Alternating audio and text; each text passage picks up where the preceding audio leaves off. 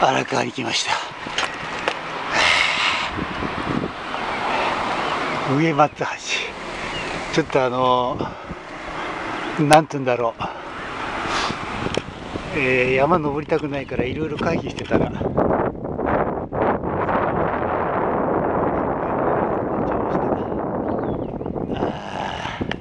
きつい。これをこれやろう。荒川写真撮ろう。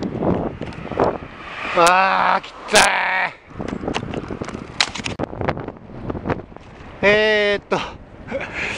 えー、適当にプラプラしてたら。えー、17号から、えー、11キロも遠ざかってまして。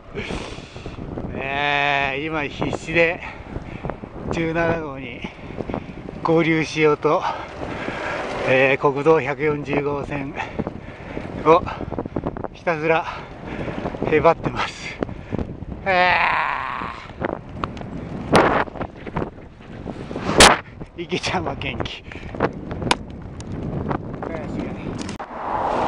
140号散々迷って、えー、やっとなんとか本来の国道17号線中山道に入ってまったり高崎方向に進んでます。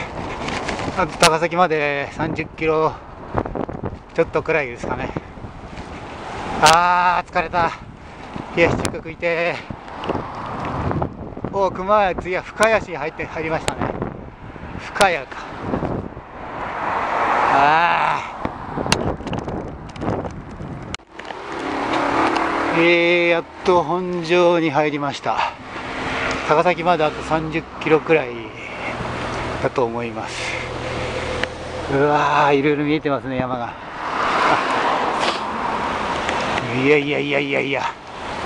この分でいくと薄い峠は真っ暗でしょう、えー、これ何がだろう？利根川じゃないよね。利根川じゃないよね。多分あんな水量じゃないと思う利根川は。ああやられたね渋滞。これ出れるか。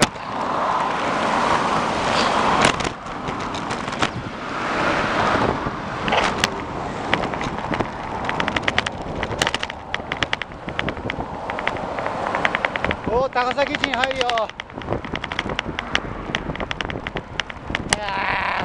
いね